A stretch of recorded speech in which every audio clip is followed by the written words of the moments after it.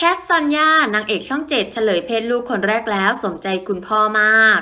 หลังจากที่สาวแคทสัญญาได้แต่งงานและใช้ชีวิตกับก้องพัทบุญยลักษณ์เกษม แฟนหนุ่มนักธุรกิจ หลังจากที่คบหาดูใจกันมานาน 3 ปี เมื่อเดือนสิงหาคมที่ผ่านมา เธอยังได้ออกมาประกาศข่าวดีว่าเธอกำลังตั้งท้องลูกคนแรกแล้ว แถมออร่าความสวยสดใสของคุณแม่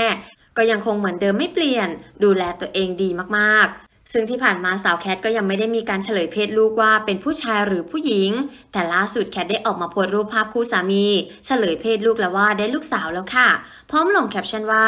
it's a baby girl mommy and daddy love you so so much hashtag 34 week pregnant hashtag SSPB forever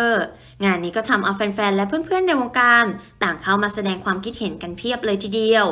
คุณแม่ออร่าพุ่งมาก สวยเป๊ะสุดๆ ได้ลูกสาวสมใจแล้ว นับถอยหลังเตรียมพบหน้าเบบีแล้ว